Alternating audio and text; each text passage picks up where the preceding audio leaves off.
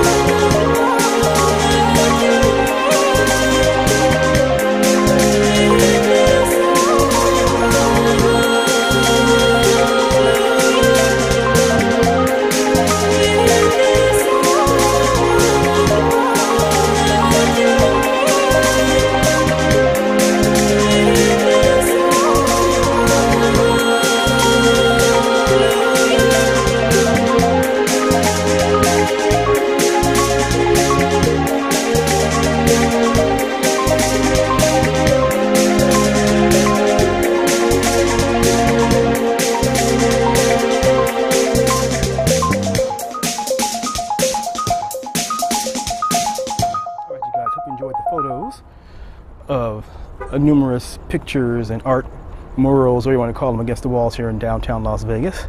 Um, they are interesting. I don't understand them all. Some look nice, some look to me a little on the shaky side. But oh well, that's just life, right? Anyway, like I always say, see me outside, say hello. Oh, I also included, oh, I'm sorry, I hope you enjoyed the pictures uh, over there on the Fremont Street Experience. And like I always say, see me outside, say hello, and I'll say hello back. Take care wherever you are. Have a good day.